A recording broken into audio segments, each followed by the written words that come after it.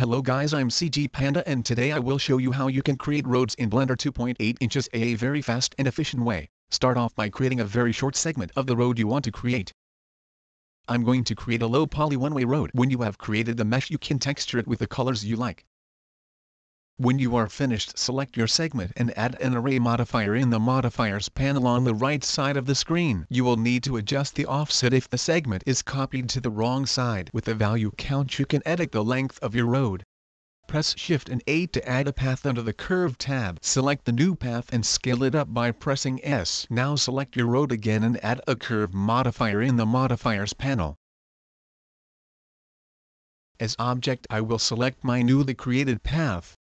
Select the path and press tab to go into edit mode. You can select vertices and move them with the 3D gizmo to edit the road.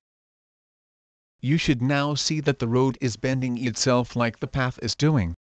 You can always adjust the length of the road by changing the count value of the array modifier.